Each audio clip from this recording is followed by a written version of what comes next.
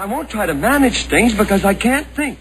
Think you didn't have any brains at all. I have so got brains. Well, why don't you use them? Doesn't anybody believe me? Oh, will you help me? Can you help me?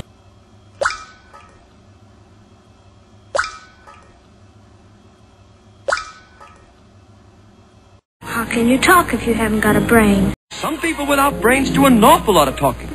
Dear, that must be terribly uncomfortable.